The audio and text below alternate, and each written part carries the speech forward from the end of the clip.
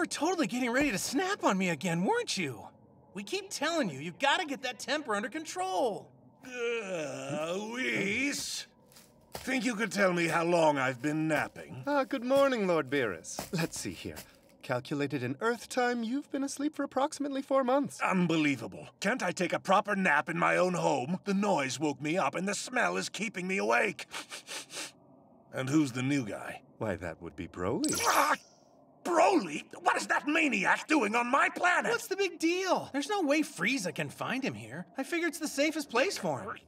Don't just invite people to live here! It's a private residence, not a hotel. Perfect timing. Care to introduce yourself? Uh, Lord Beerus, thank you for putting us up. Another one, huh? Well, who are you?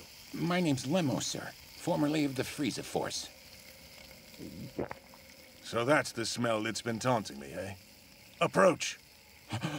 Sir,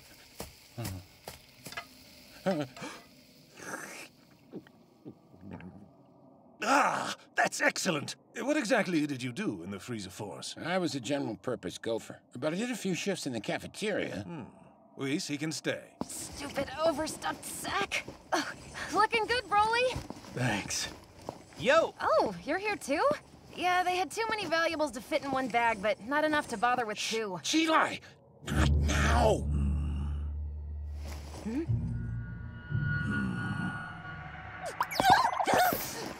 uh, doing some cleaning. Tell me your name, cleaning lady. It's Cheelai, sir.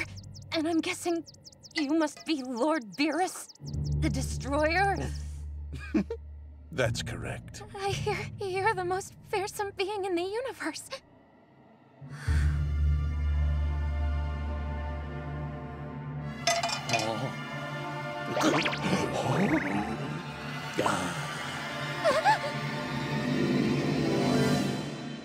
I like this one.